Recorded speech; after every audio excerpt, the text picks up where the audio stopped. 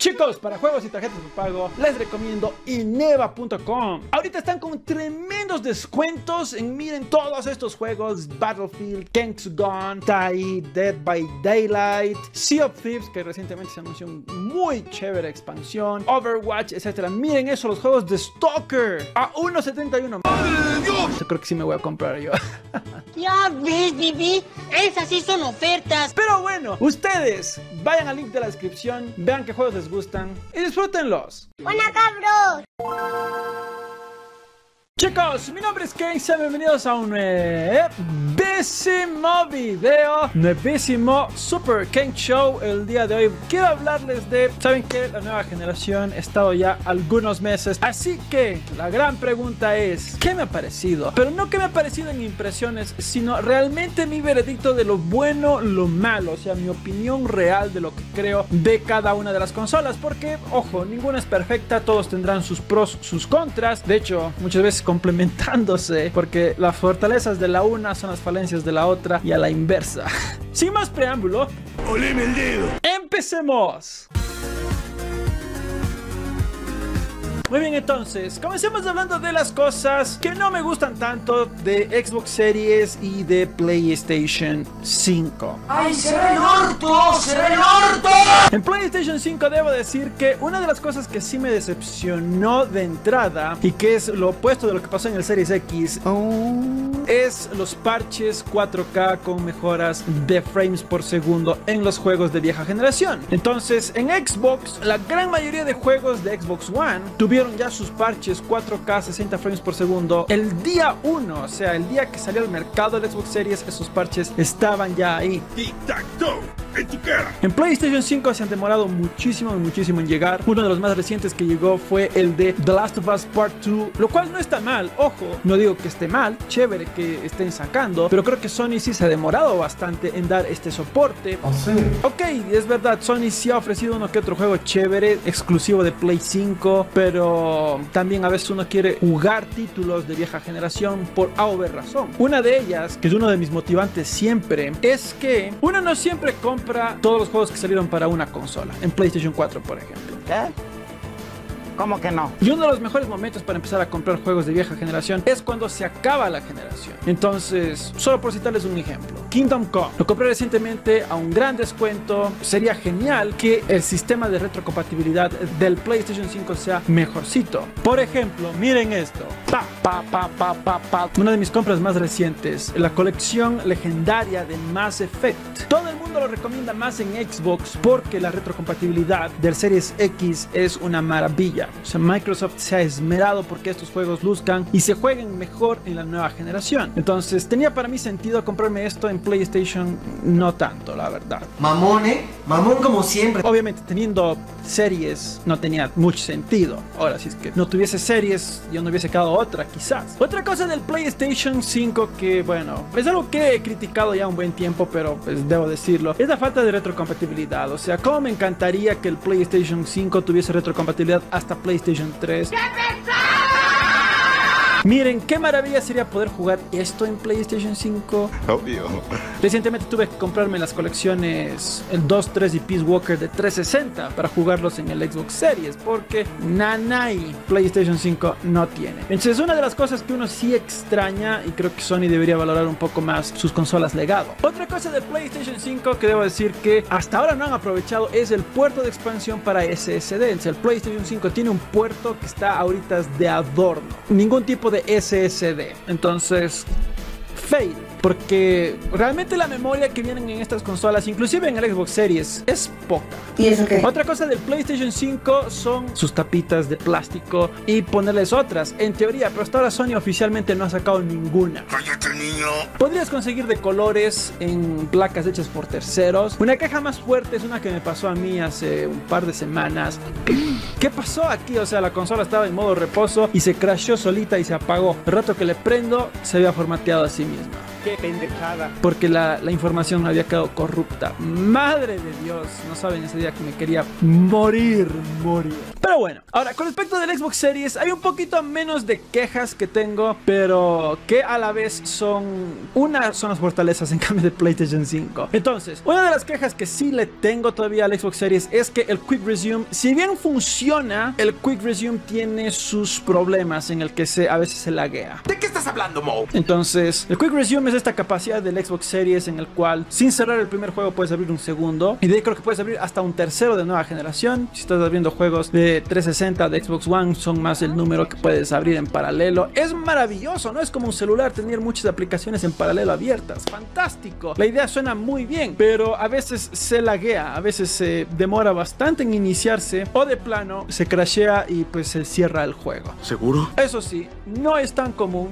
ocurre muy pocas veces, pero no es perfecto todavía. Entonces creo que sí sería chévere que Microsoft le ponga ganas y le perfeccione. Pero ese es un mal menor en comparación realmente de la crítica del Xbox Series que tengo y es el catálogo. Y el mío también. Yo sé, yo sé, Microsoft recién está armando su equipo, su línea de estudios internos, compró Bethesda recién este año, bastantes de los demás estudios fueron adquiridos hace muy poco tiempo, entonces tiene sentido, tiene sentido que todavía no hayan tenido tiempo suficiente de sacar muchos juegos exclusivos, pero la verdad se ha dicho es que en comparación de PlayStation, uff, están quedándose bastante, bastante atrás. O sea, porque les voy a decir que he comprado yo en Xbox Series en los últimos meses. Entonces, Mass Effect, este juego ya salió en PlayStation 5, ahorita está en Game Pass, Like a Dragon. Es un juegazo, pero no es exclusivo, ni siquiera de salida fue exclusivo, porque también estaba en PlayStation 4, entonces podías jugarlo en PlayStation 5 con retrocompatibilidad. ¿Qué más he comprado? He comprado Thief, gran juego, interesante. Kingdom Come, porque lo empecé a jugar en Game Pass y después salí del Game Pass, entonces.